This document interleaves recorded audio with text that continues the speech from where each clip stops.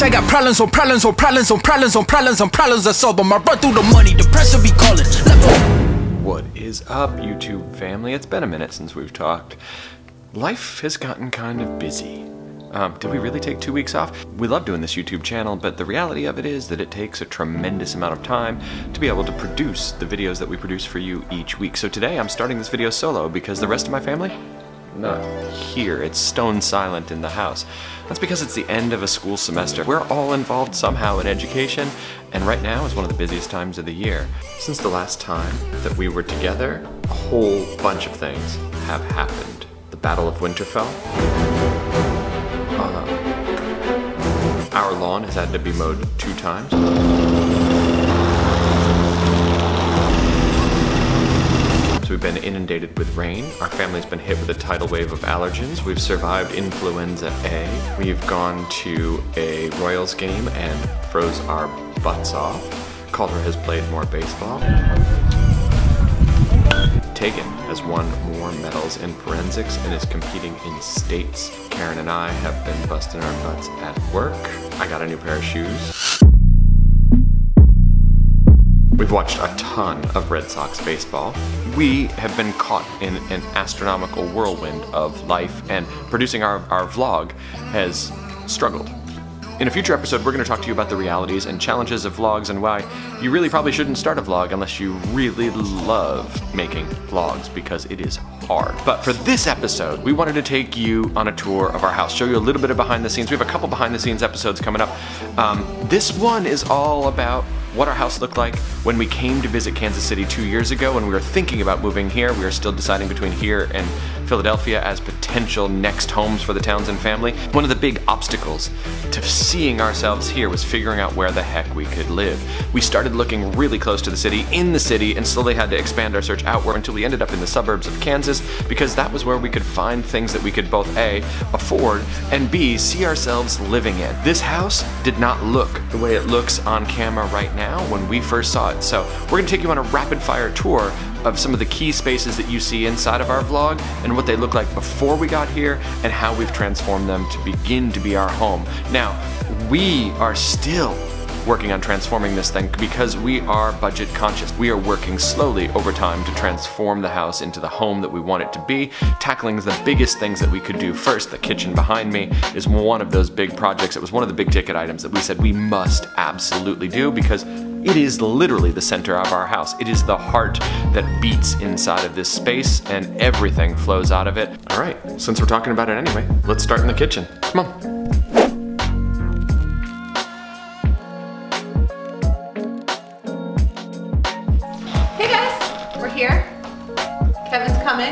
He's there, he's off screen. We're both kind of in uh, morning loungewear, unshowered, drinking coffee again. It's a Sunday morning. This is being shot out of sequence from everything else. But this is the first side by side. We're standing in the after. I think over here is the before. Over there is the before. So this is what we did to this side of the kitchen. We took the cabinets all the way to the top and then made sure. Moment got all this stuff inside of here. It goes all the way up there. We got the same thing on the other side. Can you even see me over here? Yeah, I'm in there somewhere. But spices and stuff over here. By now you've seen some of these things in some of the videos, but this is angle number one. Let's look at the other angle. Just me? I can't even see the I can't even see the screen now. I don't even know if I'm in here.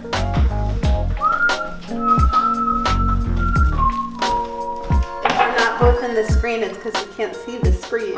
This angle is really hard to recreate because when we made the kitchen, we made more cabinets and so it goes a little further that way than whoever took the real estate photos. But this is the other angle, our fun backsplash over here. And you can see that it's totally different now. That copper that is back there is kind of all gone now. Which is good. I didn't like that copper.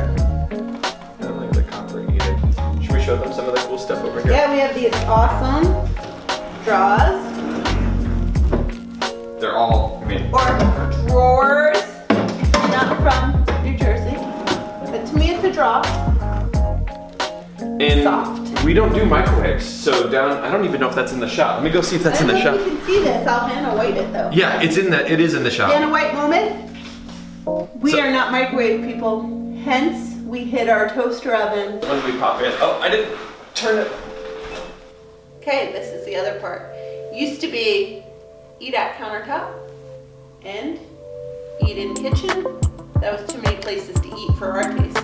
Yeah, this this audio is gonna sound awful from here. I just realized that. It's gonna be all echoey. I think it'll be fine. You guys like it. I appreciate food and drink. My taste is better reflected in the company I keep. That's our guest appearance. That's our little Amazon friend making a guest appearance.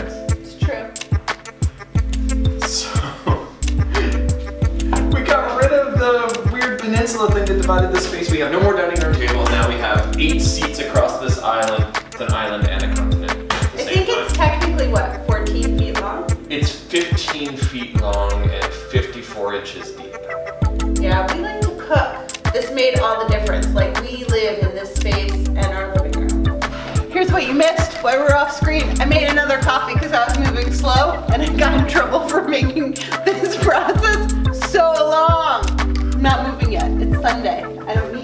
your back is to the camera now, dude. I love you. Austin, I love you, Karen. Kevin's giving me a hard time this morning. This is side by side of our living room. And I'm yelling Kevin when I do that. Come on, Peter McKinnon it. What's up, everyone? What's up, everybody? I can't Peter McKinnon it, or else I'll, I'll spill my coffee. We know Peter wouldn't want me to spill my coffee. Here's side by side of our living room. Uh, biggest, one of the hugest changes in here, um, and actually in the kitchen too, is that all the old oak we painted out white, which really transformed this huge space. You can see by the fireplace. I'm gonna go over here and point it out. This will be our next home improvement project. Tiles to be installed. Super awesome,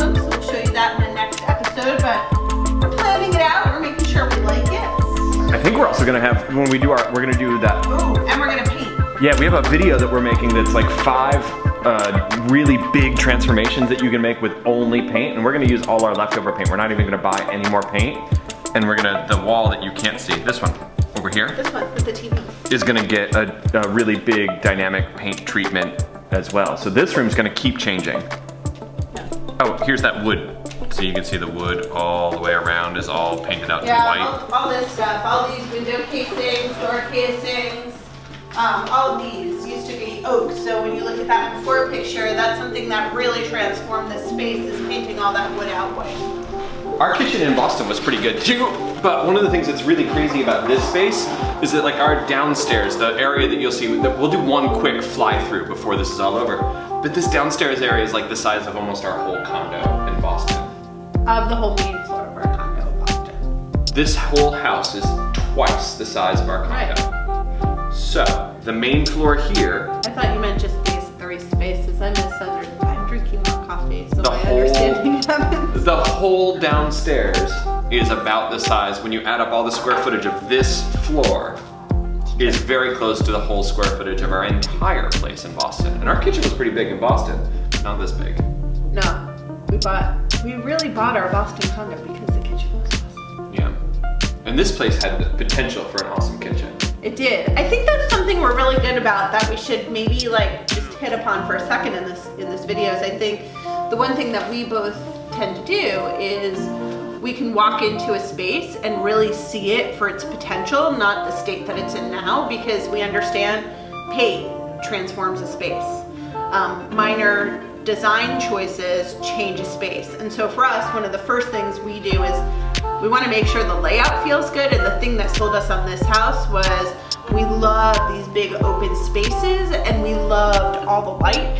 And so we really could see and understand that what that would look like when we change colors and change window fixtures. And Karen and I have a really good sort of shorthand. We can talk back and forth and we know what's going on. But like when we wanted to design this kitchen, we did take on the role of kitchen designers for this thing. Uh, we took a photograph, and now we'll cut to that while we continue talking. And we drew, I drew over it in my iPad while Karen and I talked and brainstormed and came up with Yeah. what we wanted. And that's what we took to Lowe's. We ended up every single thing in this kitchen, from tiles to countertop to every single cabinet was all on sale and all available to buy. Um, all the cabinets ended up coming from Lowe's. We were looking at like high-end European kitchens and then we were looking at IKEA, and we were like, no, we're not gonna buy an IKEA kitchen in this house, but IKEA has some really great functionality. And so we drew up this dream and we took it in to Lowe's and we met Stephanie, who was awesome and helped us figure all the, the problem out. We ended up using two different cabinet manufacturers to do this, to get the look that we wanted, the thing that she and I drew up.